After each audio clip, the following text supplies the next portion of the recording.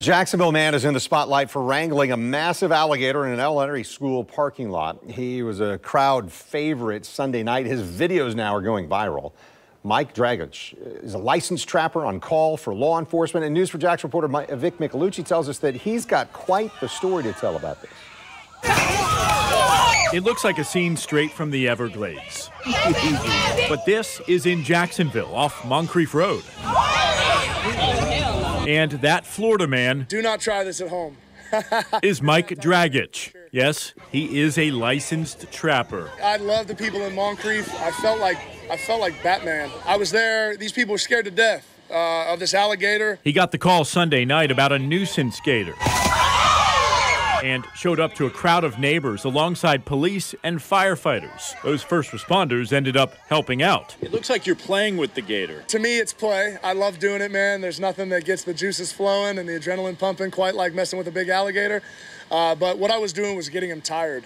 Uh, you've got to get these animals tired or they can really hurt you. The gator was large, aggressive, and had become used to people, so unfortunately, Dragich said he had to put it down. He harvested the gator, so he's not going to waste the meat. In fact, he plans on maybe some sort of community cookout in Moncrief for the people that saw him wrangle it.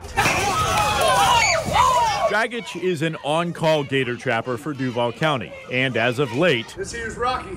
He ain't no puppy. The so-called blue-collar brawler has gotten a lot of attention on social media, with millions of views on videos of him wrangling reptiles, animals he says he deeply respects. You're trying to use this exposure for your charity. Tell me about that.